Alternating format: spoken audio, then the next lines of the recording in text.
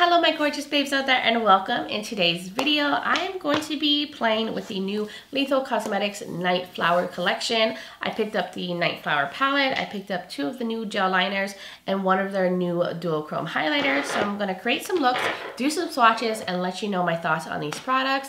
But before we get into this video, if you're new here, hello, welcome. My name is Bri and I'm just a crazy lover of all things beauty and I like to post a lot of fun, colorful makeup content. So if those are things that you like to watch, please hit that subscribe subscribe button and join this little family. But with that being said, let's get into this video.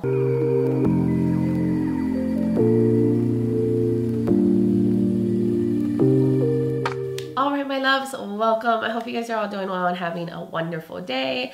I am feeling sad, but I have to like get my spirits up. I was watching the news, which I need to stop doing, and it's just so hard not to get emotionally affected by what is going on in the world right now. So it's like, you know what? I need to disconnect, go to my happy place, which is my makeup room, which is here on YouTube with you guys, and just play with some makeup and just get away for a little bit. So that's why I'm here today. and I also wanted to play with this makeup and hopefully this gives you a chance to just disconnect a little bit because we are always so plugged in with what is going on like every second and every minute we're constantly getting updates and sometimes it's just too much. It's too much for your brain to handle or my brain at least to handle. So hopefully I can be that space for you. So let's get into this collection. If you don't know about Lethal Cosmetics, they are a German indie brand and they are a very cool, innovative brand. So I wanted to pick up their new collection, which is called the Night Flower Collection. This is their Night Flower palette, which is a pre-made palette, but you can also just buy them as singles, the shades, if there's only a few shades that you actually like, because you can actually poke out the shadows. There's like little holes. So you can also rearrange the palette if you'd like. But this goes for $50. I'll show you guys up close. The color story, look how beautiful that is. It's a lot of blues and purples and some like cool tone, like mauvey gray tone mattes with it. I love this kind of color story. I love my blues. I love my purples. And in here it says that there are six mattes, two classic multichromes. There's one duochrome and three multichromes. I'm not totally sure which ones are the duochromes or multichromes since I haven't swatched anything yet because I love going in blind when I like create looks with this because I like to just be surprised at the shades. Then they also released four new gel liners, which their gel liners are my favorite. I know I talk about them all the time on my channel, but they had a bundle where you could pick up all four. I'll show you guys the bundles because there's two shades I didn't pick up. There's like a mauve pink one, there was a periwinkle one, and I didn't get those because I felt like I had liners already in those shades. And the bundle goes for $49.60, or you can buy them as singles for $15.50 each. I'll show you guys the shades that I picked up. This was Polarity which I think this one might have a sheen to it from what I saw. I can't really remember. And this is the shade Felicity. They're both really beautiful, purple and blue. I thought these paired really nicely with the palette and the shadows in here. So I'm gonna play with these today in my looks. They also came out with three duochrome highlighters. I only picked up one of them, but I will show you guys all of them. The shade that I picked up was called automatic which is right here. This one is a gold and red duochrome highlighter. I felt like this one seemed like the most wearable for me. I'll swatch this right now so you guys can see it. But ooh this is my first time swatching this one. So this is what this shade looks like. Ooh this is pretty yeah. I think i'm really gonna like this on my cheeks. Then the other two shades. So there was one called stellar that one says it has a blue and violet duochrome shift. And then the other shadow was called Halo, which that one has a green to blue duochrome shift.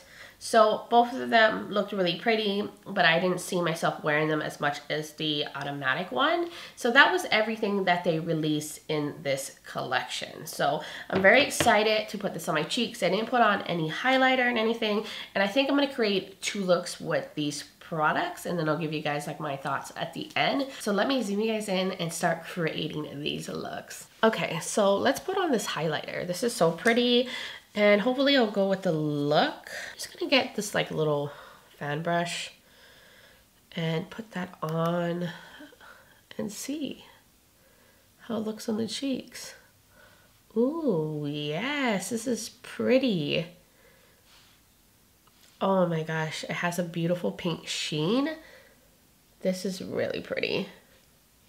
All right, so there is the highlighter. This to me is definitely more of a like wearable duochrome that has that shift. I don't really see, well, I see a little bit on my nose, like the gold shift, but I definitely see like that more pinky reddy tone coming through. I think it looks really good. All right, so let's get into this look. I'm gonna use the shade Polarity, the blue one, the blue liner. And I wanna create a shape. I've been really getting into the whole like graphic liner uh, looks and stuff. Like just trying them out some more. trying to get like comfortable like making like shapes and stuff on my eyes. So I'm gonna start here. I'm gonna try to keep this line as thin as possible. Work slowly and just follow like my natural arch. Uh, I did a look like this just in my uh, review on the Hela palette and I just love the shape so much. So I was like, I want to do it again. And since this collection has gel liners, I was like, yes, it gives me an opportunity to perfect the shape. All right, so I think this looks pretty good. I mean, they're not perfectly matching, but like I say all the time, my eyes aren't perfectly symmetrical, so it's good enough. At the end of the day, it's good enough. So I do want to get some concealer because I want to have it be, you know, more of a precise shape. So let me get some concealer and we will shape out the lid. So I'm just gonna get this flat shader brush and I'm just going to cover everything with concealer and just kind of clean up underneath the line just to make it look more precise. Okay, so I cleaned it up with concealer. See, this is how you can like really clean up the lines and get it to look a little bit more precise. So that's why I love going in with concealer. I do want to take the blue now along like my lash line here and create like a little outer wing. So hopefully that goes well. I'm gonna just start on this end. And just like kind of wing it out. And then line the whole lash line. So now I want to get into the metallics. I'm going to start off with the deep blue metallic, cobalt blue. I don't know the names of these because they're on the back of the pans. So I'm just going to point to it. And I'm going to use that all on the edge here in the open space. So I'm just going to lay that all in that space here.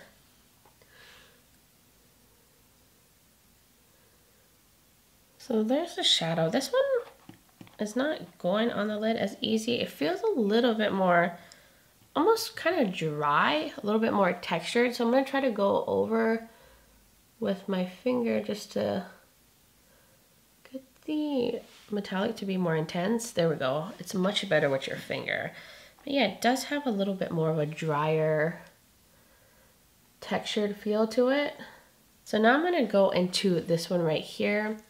And this also has the same feel as the deeper blue one. It's like a burgundy to a blue shift. I'm to start off with my wet brush and then I will probably go over it with my finger just so we can get it to be like as, you know, intense as possible. I'm to just stick that through the center and I'm to keep it diagonal in terms of how I put it on. All right, that is looking very pretty. I can see the shift a little bit. It's not like a super intense shift, but there's definitely a shift there. So I think I'm gonna go in with the blue. I think I'm feeling the lighter blue one a little bit more. So yet again, I'm gonna pick it up on the brush and I'm gonna wet it. And put it right there. Oh yes. This is really pretty. I love a nice like brighter blue metallic. I feel like this one is maybe spreading a little better on the lids than the other two shades. I think I'm to run a little bit of this at the bottom. This like plum, like deeper plum matte. And just use that along the lower lash line just to put something there. I'm actually to use the matte. I didn't expect to, but I feel like I need something down there.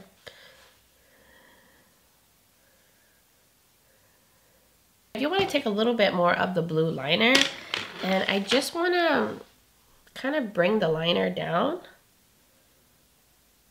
just a little bit. But I'm going to bring a little bit on the lower lash line too. Okay, so I brought it down just a little bit, kind of like a little bit of like a cat eye moment. And I do want to take a little bit of the metallic blue on the lower lash line too. And put that like right underneath the liner. So this is everything that I'm going to use on the eyes. I love the shape. I love how it turned out, like the combo and everything. I'm really feeling this. I think this is super fun. So I'm gonna go off camera, figure out something for my waterline, do my like lashes, figure out something for my lips, and I will be right back. All right, I am back. Here is the finished look. I'll show you guys up close, the eyes. Isn't it lovely? I love the combo on the lids. Like these metallics look so beautiful together and how it kind of like slowly transitions into like a lighter shade. I love that light blue metallic. But what I did off camera was I went in with the ColourPop liner and exit. I couldn't decide what I wanted to do, so I just went in with a white one. Kind of meshes like with the shade that's at the bottom, so it makes like kind of like a pastel purple tone. And then for my lips, I went in with the Luxe liner from Juvia's Place. This is called Love. It's more of like a mauve tone. And I went over that with the Lethal Cosmetics lipstick in Rome, which is more of like a grayish beige. They kind of combined together and made like a cool tone, like pinky nude. And I think it goes really well with the eyes. I did go in with the Thrive mascara and the Rare Beauty mascara. I did like a little combo. I was going to go in with lashes at first, but I feel like the lashes are going to like fully like cover up the lid, especially like when my eyes are open. So I just wanted the focus to be like the metallics and the shape of my eyes. So I decided not not to. But that is how I completed this look. I think it's really, really fun. So I think we should now get into the next look. So I'm going to go into this shade right here, the shade I use on the lower lash line. And the first look, the more like plummy matte. And I'm going to focus that on the outer corner. Ooh, it's deeper, I think, on the eyes than it is in the pan, especially like when you're really like uh, packing that on. Now I want to go into maybe this shade right here. This lighter, like taupey, purpley brown. I'm going to use that through the crease. The shades do have kickback. Definitely want to dust off the excess off your brush. But I'm just using this like really fluffy but smaller brush to blend this shade all through the crease and over that like dark matte on the outer corner. I think I want to go back into the other deep plummy shade and I'm going to build that up some more and I'm going to bring it a little bit further into the crease underneath the lighter matte just to bring it in a little further. I do want to go into this shade right here. And I want to have a little bit of that as like a pop in the inner portion. It's close to being like a pastel. It's not super light enough to to be a pastel, but it's it's on the lighter side. So I just want to focus that in the inner portion just for like a little pop of a lighter shade here. So now let's do the lower lash line. I'm going to go back into the deeper plum shade. I'm going to use that pretty much on most of the lower lash line and then put that lighter purple in the inner portion. And I will use that like taupey purpley shade that I used through the crease to blend the edge. So now I'm going to go back into that shade right here, dust off the excess and use it to blend the edge out. All right, so I'm going in with the purple light matte. I forgot to tell you guys what I was doing. I accidentally went in with a little bit of that one too. So it's like a little bit more like a warmer purple, that shade. And the other one is a little bit more cool tone, but I think they look fine mixed together. So I want to go into the metallics, but I want to put down some glitter primer just to see if we can get the uh, shades to like stick better to the lid and look a little bit more foiled. I just want to see if that will make a difference using the uh, glitter glue. So now let's get into the metallics. I'm going to start off with the purple, the purple metallic. I want to use all the ones that I haven't used yet and I'm gonna work that on the corner or the end that's closest to the deep plum on the outer corner. Yeah, this does so much better with a tacky base to really stick to. I'm gonna clean the brush off and I'm gonna go into the lighter purple shade in the inner portion. We're just gonna be all purple out in this look. Oh, that's pretty. It's such a pretty, like light, kind of leaning a little bit more of like a warm purpley pink metallic, but that is so beautiful. I really, really like the light shimmers in here. Like those are my favorite. And now I'm gonna go into this shade right here as my inner corner highlight. This one is like a gold to pink shift. Like when I look at it in the pan, it's gold, but like when I show it to you guys, it looks, I think, a little bit more pink on camera. Oh, that's going to be beautiful in the inner corner. And I'm just going to put that right there. Ooh, yes, it looks so pinky on, on the eyes. That makes a beautiful inner corner highlight. I love that. I love this shift. So now I'm going to go in with the Felicity shade and use that in the waterline. That's how I want to use it. This is what I usually use the gel liners for, is for my waterline. That's how I use them the most. I just think that they stay really well. They're super opaque. And they just make really good liners for the waterline. So that is everything that I'm going to do on the eyes. I think this is also super pretty, super purple. I love it. And I think everything just works so well together. So I'm gonna go off camera, figure out something for my lips, my lashes, and maybe put some mascara on, maybe put some falsies on, see what I come up with, and I will be right back. All right, I am back and here is the completed look. I did go in with the Ace Beauty uh, falsies. I think they're called Daphne. I tried to look them up on their website. I don't think they're there. Maybe it's the style that got discontinued. But I thought a little drama would go well with this look. I love a good purple look. It's really good at like amplifying my eye color. I feel like purple does really well for brown eyes at least in my opinion. I love it. I did go in with the Lethal Cosmetics lipstick in Virtue. It's kind of like a plummy shade. And then I went over it with the Rome shade to lighten it a little bit, make it a little bit more like cool toned. And I think they go really nicely mixed together with this look. And then for my mascara, I just used the Rare Beauty mascara. And that's all I did off camera to finish everything. I'll show you guys one more time up close. Hopefully my lashes don't look terrible. I'm really bad at like putting them on. I mean, I think I'm getting better the more I do it. But if they look funny, it's probably because they are funny. but that is everything for look number two. I feel like it's now time to give you guys my like final first impressions on all of these products and wrap up this video. Alright guys, we are at the end of this video and I'm here to give you guys my like first impressions on these products.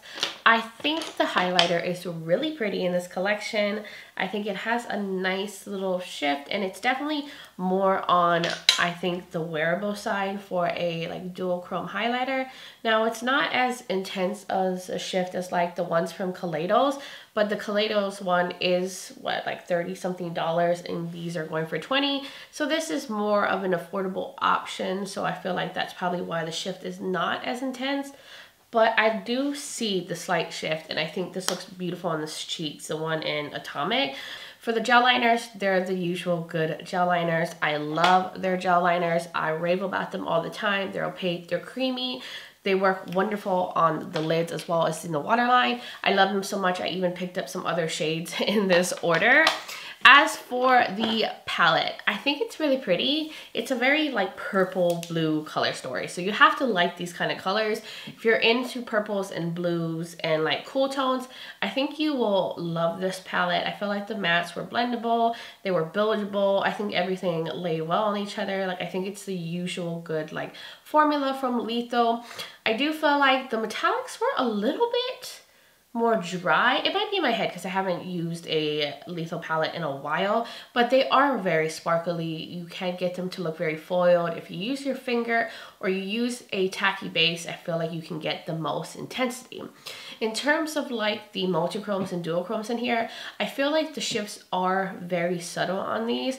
And they did say in their like launch video for lethal that they wanted to make more affordable multichrome options because their other multichromes are a lot more pricey and these I think are like $9 individually. So they're a lot cheaper than the like multi-chromes you can get from Clionadh or Devinah.